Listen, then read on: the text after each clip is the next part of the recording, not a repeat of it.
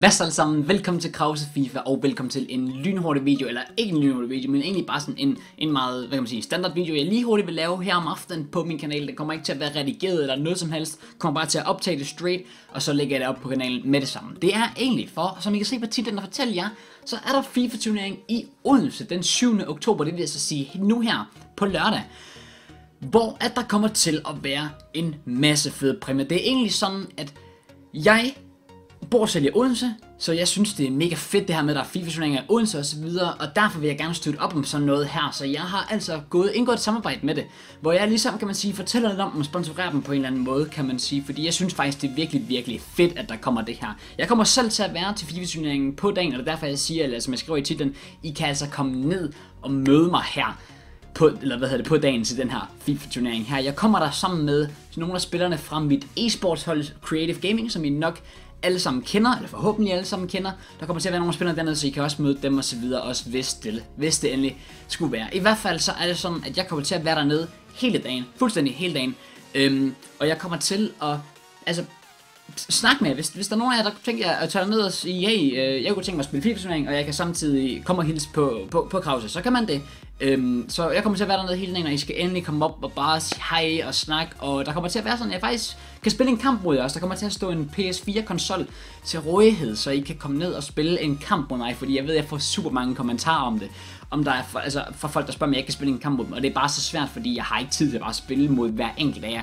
Her får I en mulighed. I kan komme ned på havnen, Odense den 7. oktober, hvor jeg kommer til at være der, hvor jeg kommer til at være til stede, og der kan I altså spille mod mig, som sagt, i FIFA. I kan hilse på mig, og I kan tage billeder, alt det der, hvad end det lige lyster. I hvert fald, så er det sådan, der kommer til at være super fed præmie. Jeg kan ikke lige huske det helt præcis, men man kan vinde alle mulige VIP-billetter, og du kan vinde gavekort til, altså, alle mulige restauranter i Odense, alle mulige fede præmier, så det er faktisk utrolig fedt. Det er præmier for rimelig gode penge, i hvert fald vil jeg gerne sige. Øh, rim, rimelig hæftige øh, penge. Det koster 100 kroner at være med, og så er man der ligesom hele dagen, og du kan deltage. Du kan faktisk også deltage i andre konkurrencer dernede, fordi hver time dernede, tror jeg det kommer til at være, bliver der udtrukket vinder af nye konkurrencer. Også selvom du ikke engang er med i FIFA-turneringen, eller jo, hvis du er med i FIFA-turneringen, men også selvom du røget ud af FIFA-turneringen på den måde, så kommer du stadig til at kunne vinde præmier dernede på dagen. I hvert fald, der kommer også nogle OB-spillere dernede. Jeg er ikke helt sikker, jeg tror det er Mikkel Dessler og en eller anden, der kommer dernede fra, fra OB. Så hvis det, hvis det er noget, der, der, altså der en synes er spændende, så kan man selvfølgelig også komme derned. Borgmesteren, Odenses borgmester kommer også derned faktisk. Virkelig, virkelig spændende. Det er altså sådan, jeg har lige fået nogle, øh, nogle flyers og nogle plakater fra dem her. Vi kan jo lige hive den ene af dem op her. I kan altså se den her, hvis jeg lige tager den ved siden af hovedet. Sådan her.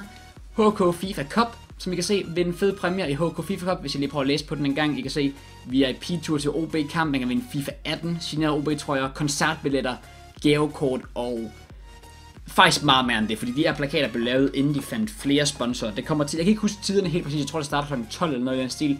Ikke hænge mig op på det i hvert fald, men jeg synes virkelig, jeg, jeg vil lige, hvad kan man sige, sprede ordet et eller andet sted. Der er også nogle meget små flyers med, hvis jeg lige graver ned efter dem. Dem her, det er egentlig bare plakaten i mindre form, kan man sige. Øhm, hvor der igen, der står det samme på. Det der egentlig kommer til at være, det er sådan, at for at tilmelde sig, skal man gå ind på deres øh, event, inde på Facebook. Så hvis man har en Facebook-konto, så er der link til den nede i beskrivelsen. Øh, deres Facebook-side, der man går ind og køber billetter. Der skal du bare trykke ind, så står der et link til, hvor du kan købe billetter. Så eventuelt, i hvert fald meld dig, meld dig til, hvis man lige skal have, høre forældrene ad, så hør selvfølgelig forældrene ad, og fortæl dem gerne, hvor fedt det her er, fordi det er faktisk virkelig, virkelig stort. Der kommer ikke til at være sådan mega mange prospillere. Jeg vil ikke love noget, men jeg er rimelig sikker på, at FIFA-nat også kommer faktisk, så det gør det bare endnu federe et eller andet sted. Så vi kommer til at være dernede, vi kan tage billeder med alle sammen, og jeg som sagt kan spille FIFA-kamp mod jer, og man kan vinde super fede præmier, altså come on. For, for 100 kroner, det er faktisk en virkelig god pris i forhold til, hvad man kan vinde. Så jeg vil anbefale jer alle sammen meget stærkt at tage med. Jeg vil faktisk også sige, at hvis I køber billet, og I kan ligesom, altså bevise, I har fået, hvad kan man sige, kvittering på billetten, og, eller I har et eller andet bevis på billetten, så kan I sende mig, I kan tweet mig et billede af billetten, på Twitter. Der er link til min Twitter nede i beskrivelsen. Så, hvad hedder det, tag et billede af jeres billet, tweet det til mig, og så udtrækker jeg altså en tilfældig vinder blandt jer til en, hvad man kan sige, en præmie. Øh, en skjult præmie, jeg vil ikke helt sige nu, hvad det er, men det, jeg tror mig, det er, noget, det er noget, der faktisk er noget værd. Så i hvert fald, hvis I køber billet, tweet det til mig, udtrækker jeg en tilfældig vinder blandt alle dem, der har tweetet det til mig, og så kontakter jeg vinderen direkte med en, som sagt, rimelig fed det er rimelig, fed præmie. Lad os bare sige det sådan. Men i hvert fald, udover det, så er der faktisk ikke rigtig andet at sige. Jeg vil bare lige hurtigt gøre det. Jeg håber virkelig, at jer, der ser videoen her, vil støtte op omkring det. Vil måske prøve at overveje det. Giv det et skud, hvis det er. Der man kan købe billetter helt indtil på fredag, dagen inden, at selve turneringen er. Så i hvert fald, hvis det, hvis det siger noget, så kom ind og støtte op omkring det. Som sagt, I kan komme og hilse på mig. Det skal I være mere end velkommen til. Jeg kommer til at være dernede, som sagt, hele dagen igennem.